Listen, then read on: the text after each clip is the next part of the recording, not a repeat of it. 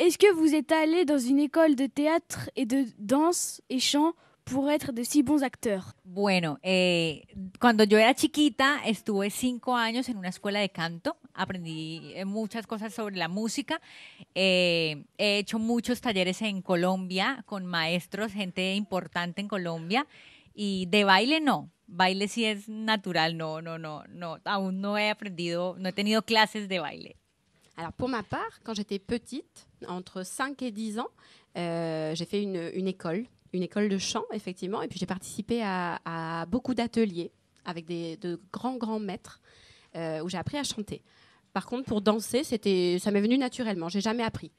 La classe. Y yo, y yo, Et moi, et moi, et moi Pardon, pardon. yo estudié también canto y teatro.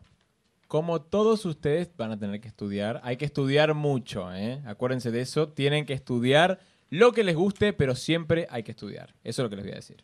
Alors moi, j'ai étudié la musique et le théâtre, effectivement. Et ce que je voulais vous dire, qui est très très important pour vous tous, hein, euh, quel que soit ce que vous choisissiez euh, d'étudier, il faut le faire à fond. Étudier beaucoup, beaucoup, beaucoup. Le travail. Kiffer, mais travailler, quoi. En gros.